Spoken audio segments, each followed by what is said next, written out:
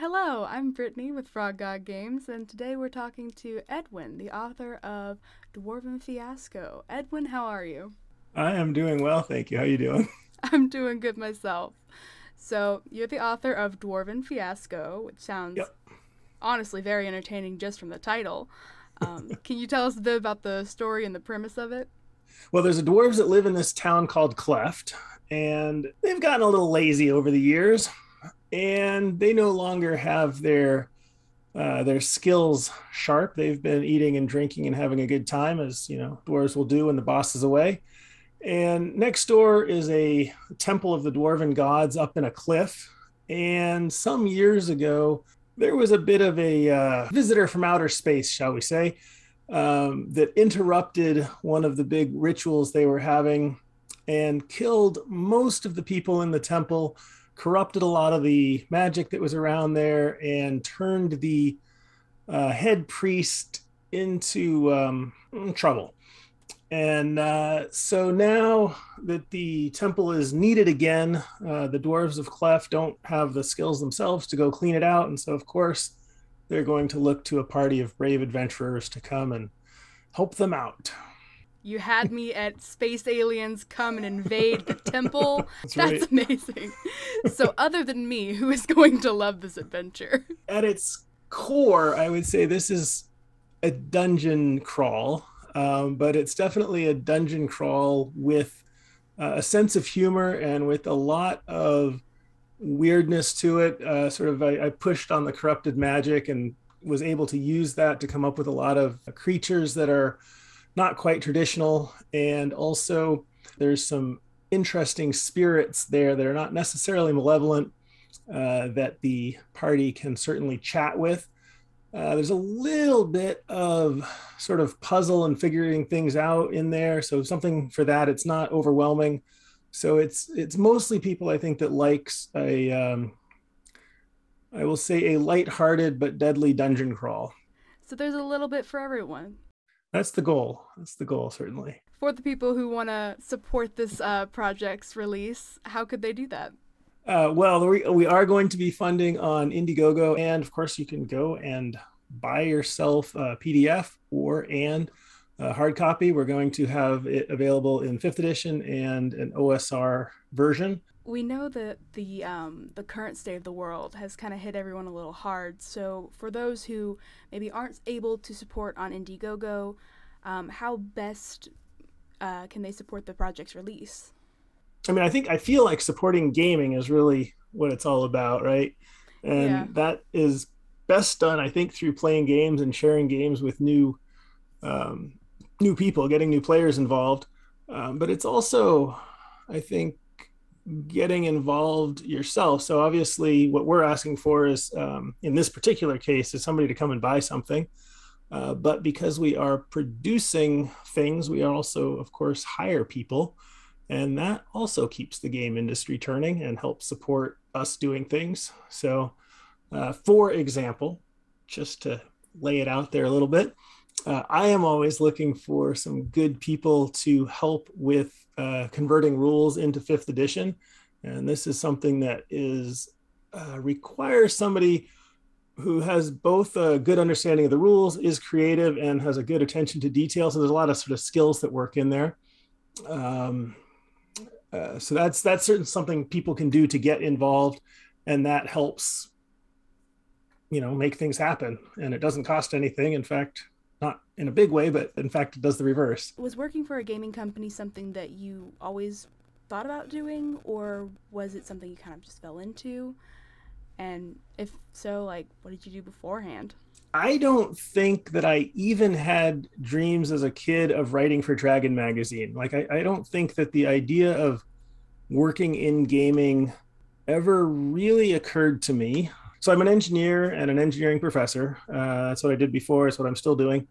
Uh, I have always done something artistic in a amateur or semi-pro manner. So i've worked in live theater i've worked in you know music concerts that kind of stuff.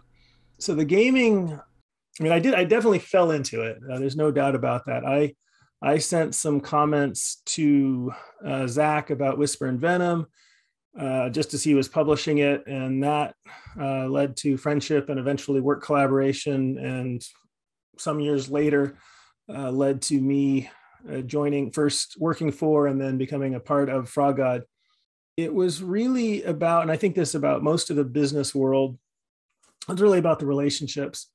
Um, you know, doing good work, but also meeting people and having them trust you and like working with you um, I think you know I think if you do those two things, uh, then you'll you'll find work. You know, in whatever whatever field you're you're interested in. I feel like those are the two main keys. So you said you were an engineer. Um, sorry, that stuck out to me. How has being an engineer influenced the way you design and write games? So specifically, I'm a structural engineer. So my I, I work on buildings and bridges.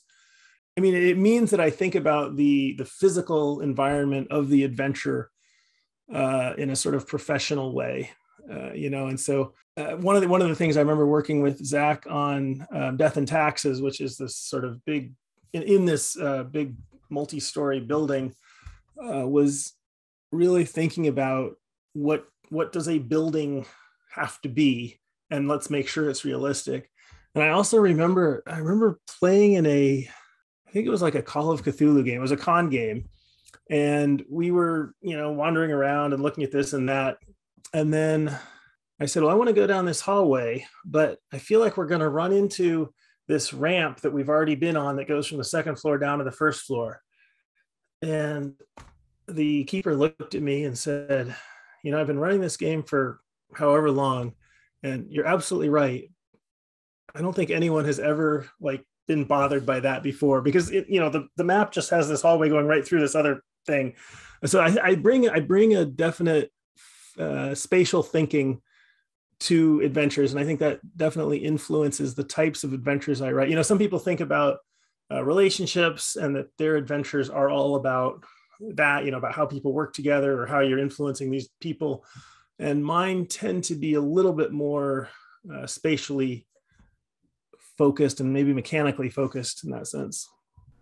That's really cool though, because I I figured you would have a different kind of pr- approach to it because you know, like you said, a lot of people think about the relationships, but I can't tell you the number of times I've been in a dungeon, like with a group or something, and it bothers me that the dungeon is not structurally laid out, and I'm like, we should be like in a in a lake right now and yet we're on the second story?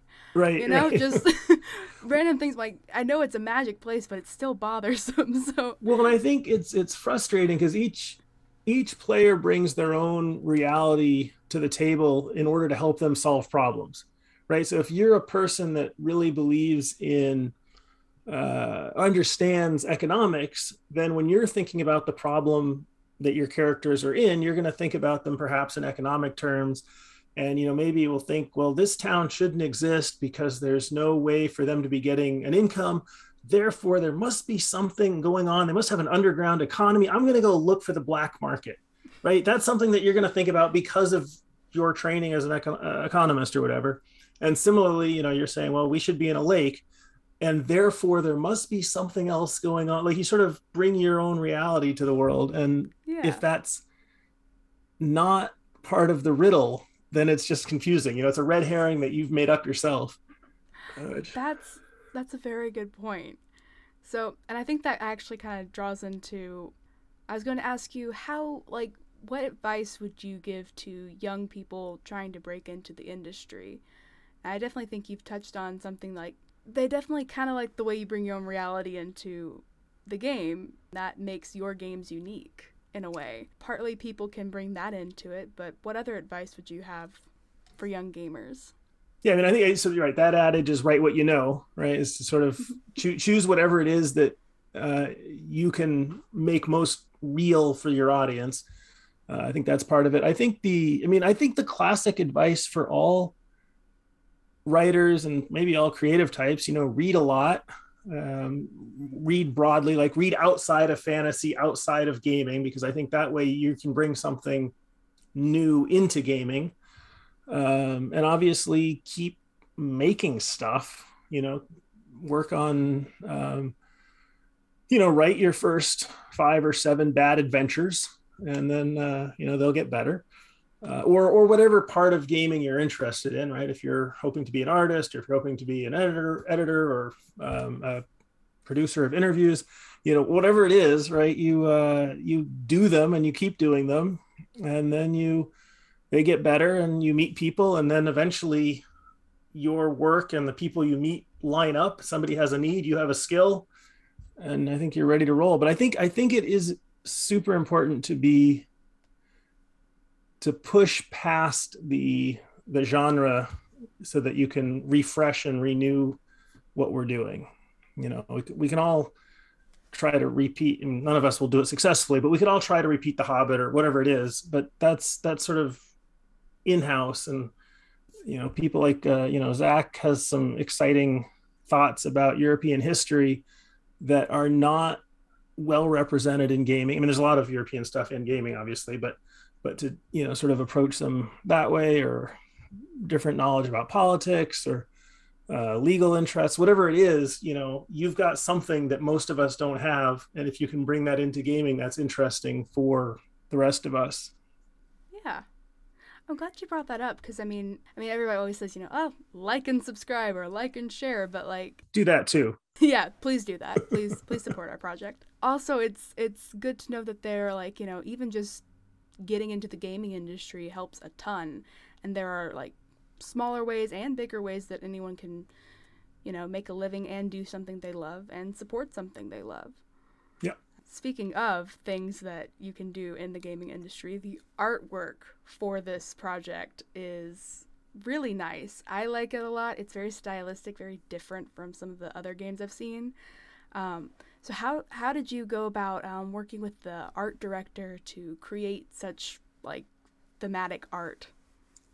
So we did a couple things specifically. I am I'm I'm super super excited about the art for this. It, it turned out you know one one of the uh, one of the great things about writing for gaming is you get to write something and you picture something in your head, whatever, and then at some point you or somebody else puts together the art notes and all of a sudden art comes back and it's so much better uh, most of the time than what you like. This this picture behind me here is you know is just a few sentences in the adventure about some uh, cooks that have become skeletons and some giant rats and an encounter between them that the players uh, might run into. And this is so much more dynamic and energetic uh, than you know the few sentences that just say you know there's two skeleton cooks and a whatever whatever it says in the adventure.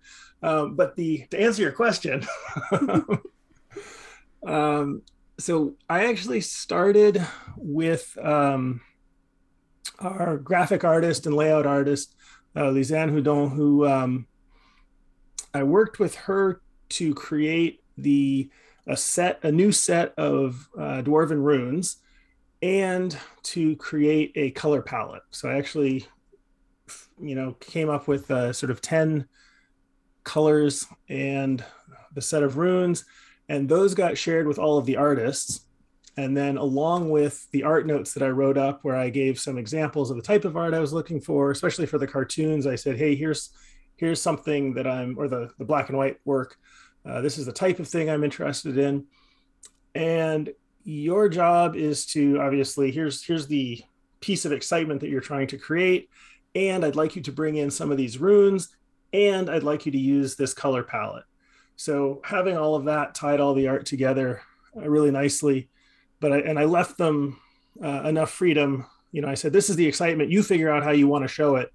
I just want this excitement to show through and i think that came out really well. Um, I, yeah i'm super super pleased uh, with all of the art and the layout is looking fantastic. Uh, and it all looks like it was done intentionally together uh, because it was. So. Yeah, I agree with you. I think that the art is very dynamic. I can tell that you told them, here's the vibe, go with it, just from yep. the picture behind you, because it is. it's incredible. I, I think that's wonderful. So, without giving too much away, um, what would you say your favorite aspect of the story is? I think it's the fun uh, creatures that are encountered. So there's some uh, food that you know was left long enough under the influence of this uh, space magic that it's taken on a life of its own. Uh, there's some humorous undead. There's some earth elementals and some other things like that that have all gotten just a touch of this corruption that came in that that hit the high priest. And so I think it's really again it's it's the all of the things that you sort of think you recognize, but then they're just a little bit. Uh, it's like a, being in a fun house, you know. It's mirrors just change it a little bit to uh, make it more interesting. Hopefully, more interesting. So it's a lot like our world, but just a little warped. yeah. If you have dwarves in your yeah, exactly. Yes. Oh, I do. I'm five two, so. Well, okay. I'm one of them. how are you with a How are you with a warhammer? you know, I could be better. Uh, well, keep working. Keep working. well, thank you for sitting down and talking with us today. Um, pleasure. Letting us know about this intensely intriguing adventure. um, I am going to get myself a copy of Dwarven Fiasco. But thank you for sitting down with us. Well, thank you. Everyone who's interested, please go check out Indiegogo. Um, the link will be in the description and support this project. Whether you share it, whether you play it, all your support matters. So thank you.